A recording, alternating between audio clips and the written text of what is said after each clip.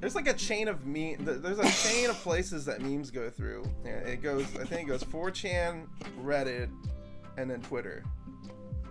And then I think it, you know, if it's stupid, it goes on Facebook or whatever. It's, You see a lot of stupid shit on it's, Facebook. it's Facebook's full of old people that are just like, they don't know what things are, so they just. I'm whatever. super glad I'm not on Facebook. Mm, Doug at our last gig.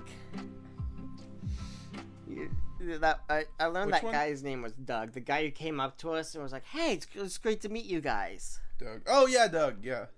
He's, he's cool. Oh, yeah. He was like, "I look you up on Facebook. We're gonna be friends, right?" and I was like, No, I don't. "Don't look me up on Facebook. I'm not on there. You're gonna see my dad. Yeah.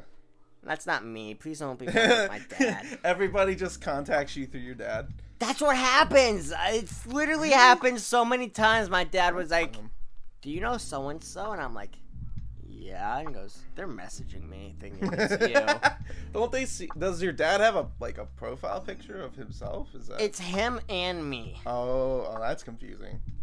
Why is he surprised then? Of course that's gonna happen. If you're you're you're I think he's changed it because that has happened in a long time. But for a while, it was like him holding me like in his arms, like I was the little princess.